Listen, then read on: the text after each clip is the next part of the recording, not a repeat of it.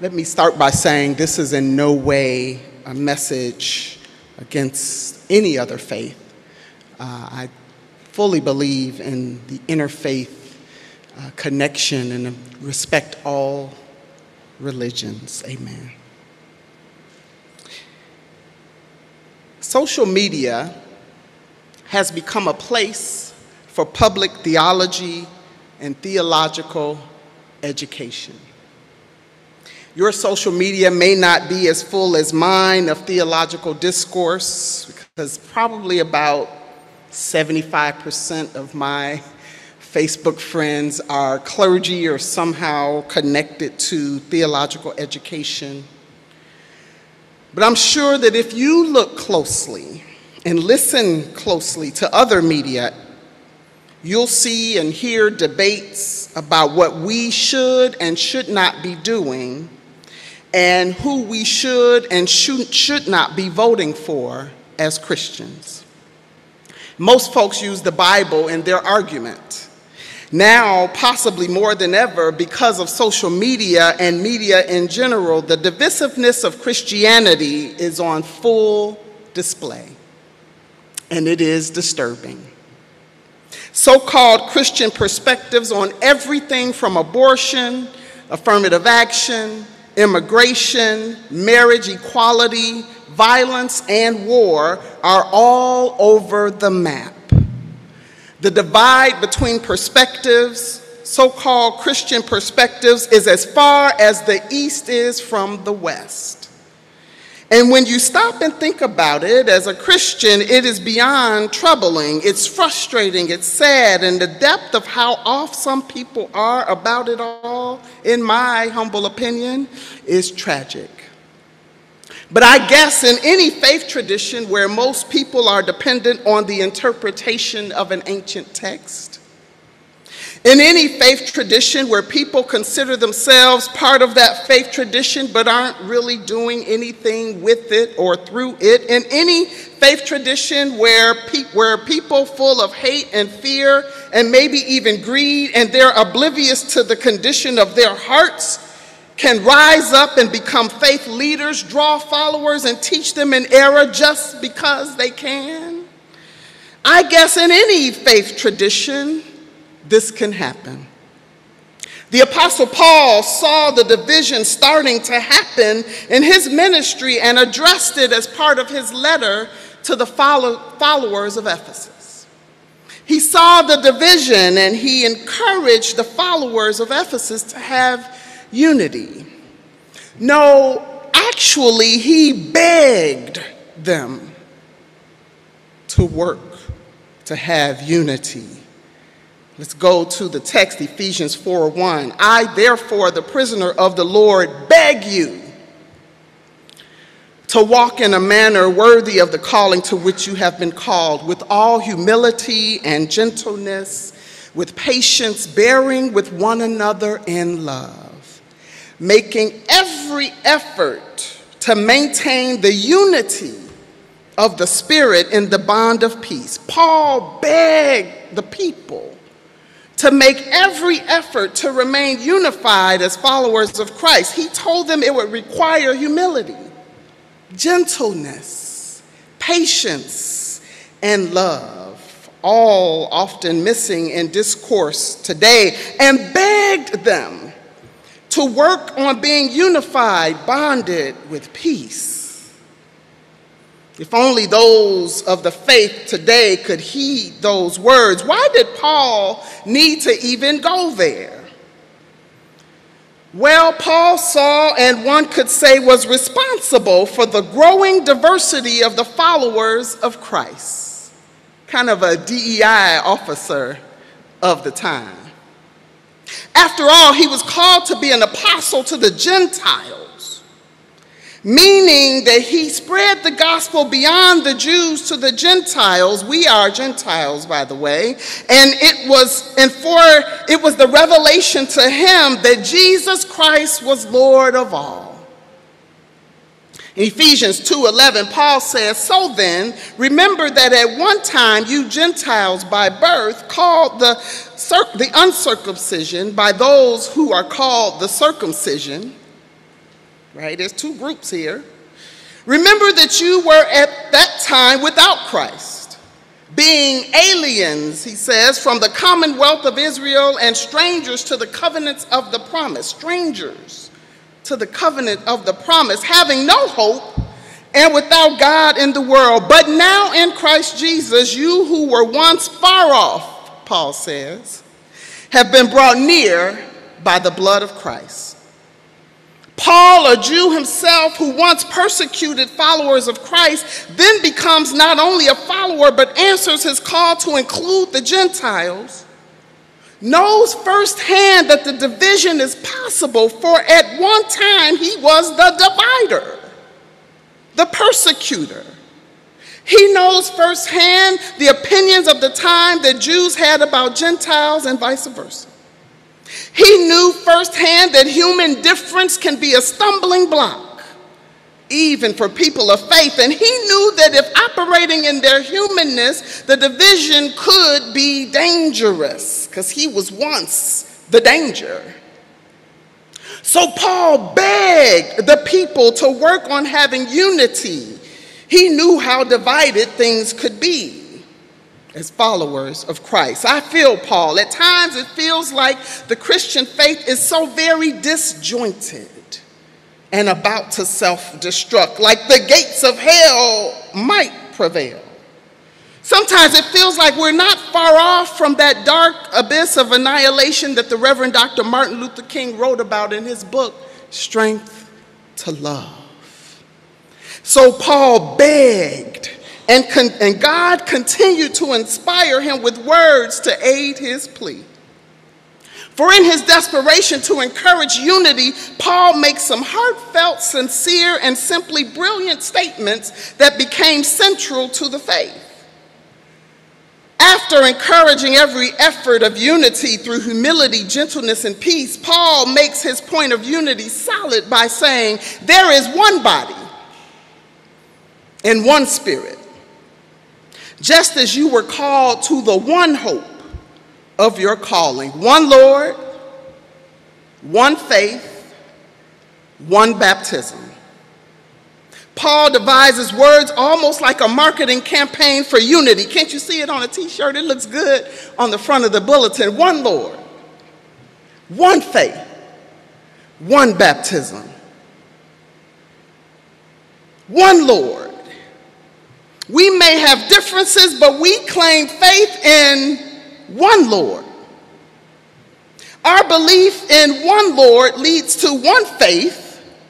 No person's faith or no ethnicity's faith is greater. There is one faith. And our outward expression of faith is the same for us all. It's called baptism, and there's only one, multiple ways, but one baptism, one Lord. You can't get more unified than one.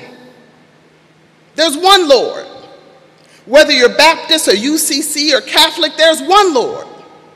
Whether you're Southern Baptist or American Baptist, there's one Lord. Whether you're black, white, red, brown, or green, there is one Lord. Whether you're in the snow capped mountains of Colorado or the sweltering heat of Mississippi, there is one Lord. Why is that significant in the plea for unity? I'm glad you asked because if we pay attention to the one Lord, if we study closely the words and the actions of the one Lord, we can, I believe, and I can be optimistic sometimes, kind of dreamy, you know, vision, prayerfully. Maybe we can move towards with God's miraculous hand, a unified body. And so Paul gives us the next powerful words in his campaign. And that is to call the unified body of followers the body of Christ. Isn't that brilliant? Paul, inspired no doubt by the Holy Spirit, was indeed brilliant. This is for those even outside of the church, outside of Hyde Park Union Church, even, who were never taught in their faith to pay attention to Jesus. I'm talking about Christians who've never been taught to pay attention to Jesus' ministry because if there is ever in my holy imagination going to be unity. I know it's far fetched, the chasm is wide, but, but if our ministry at Hyde Park Union Church reaches one person, changes the heart and mind of one, that's a start. After all, another important metaphor in our faith is the mustard seed. Ask your neighbor if you didn't catch that one. If those who are followers of Christ, whoever and wherever they may be, move towards being the body of Christ, who is the one Lord of our faith, we move towards greater unity. How does the metaphor body of Christ help us? Glad you asked a second question. Well, if we simply pay attention and do what the body of Christ did, we are being faithful to our call as literal followers of Christ, and we can move towards a unified body, no matter who we are or where we are.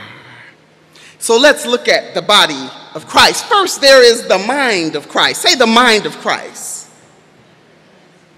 It was Paul also who said, Let this mind be in you.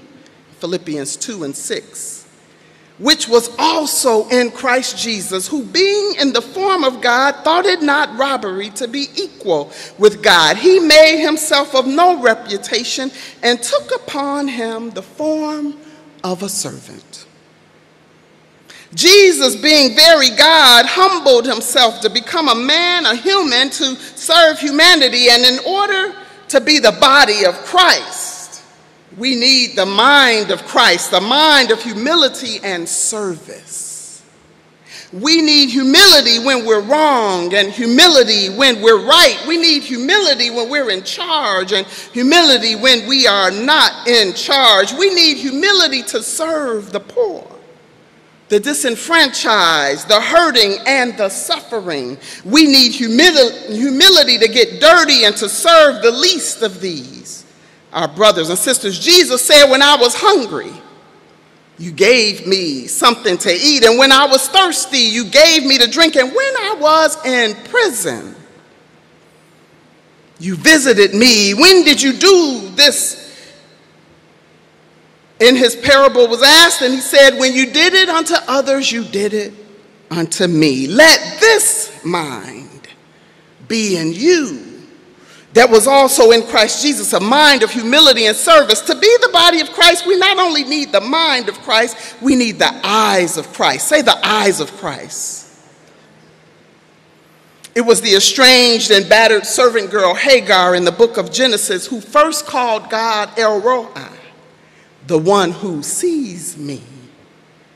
Jesus continued as El Roi, for Jesus saw the woman at the well, Jesus saw the man at the pool, Jesus saw blind Bartimaeus, Jesus saw the hungry multitude, and when Jesus sees, he has compassion and he ministers and he speaks and he listens and he heals and he sets free. How do you know when you're looking at people with the eyes of Christ? Well, if you look and judge, if you look and are frustrated, and if you look and turn away, or like the disciples want them to turn away, then you're looking with your eyes. But as the body of Christ, with the eyes of Christ, we will see people who are otherwise invisible to the world. See them as made in the image of God see people and have compassion, see people and see their need, then we are being the body of Christ with the eyes of Christ. But not only the mind and the eyes of Christ, but we need the mouth of Christ. Somebody say the mouth of Christ. When Jesus opened his mouth, he spoke to those he wasn't supposed to speak to. He spoke to the woman and the Samaritans and the Samaritan women. And they always ran and told it, and people were saved. He spoke to demons and said, Get out, and they got out. He spoke to the winds and the waves and said, Peace, be still, and nature obeyed. He spoke words of comfort. My peace I give to you. Words of liberation, get up, take up your bed and walk. Words of conviction, let he who is without sin cast the first stone. Words of love and affirmation, daughter, your faith has made you whole. Prophetic words of justice to bring good news to the poor, recovery of sight to the blind, and to set the oppressed free. Jesus spoke truth to power, called out hypocrites, and challenged the status quo. Jesus spoke to everyone and everything, and when he spoke, things changed. Situations changed, nature changed. When Jesus spoke, people changed, and the church, as the body of Christ, has been too silent on some matters, and, and we're called to speak like Jesus. Speak life into dead situations, speak health into lives of the sick. Speak prophetic words of justice. Speak truth to power. To be the body of Christ, we not only need the mind and the eyes and the mouth of Christ, we also need the legs and the feet and the hands of Christ. Jesus' legs and feet took him out of the synagogue and into the world. His legs and feet took him to forbidden places on purpose.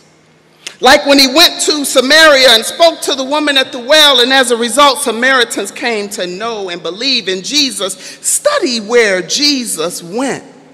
There's a whole movement now studying the words of Jesus called red letter Christianity. Somebody said, let's pay close attention to what Jesus is saying. And I'm adding to that pay attention to where he went, why he went, and who he went for. As the body of Christ, our legs and feet should take us to those who are hurting, marginalized, and have no hope. For we are the body of Christ. And when we go, we ought to have the hands of Christ. For Jesus had healing in his hands. When he touched Peter's mother, her fever left and she rose and served him. He had hands of justice, for when he went to the temple and saw the money changers exploiting the poor, his hands flipped those tables. And he said, My house shall be called a house of prayer, but you have made it a den of thieves. Jesus, with a mindset of abundance, that's another part of the mind of Christ. is not of scarcity, but there is plenty in God's kingdom. And with the mind of abundance and miraculous power in his hands, Jesus took two fish and five loaves with his hands, and it became a meal that fed 5,000.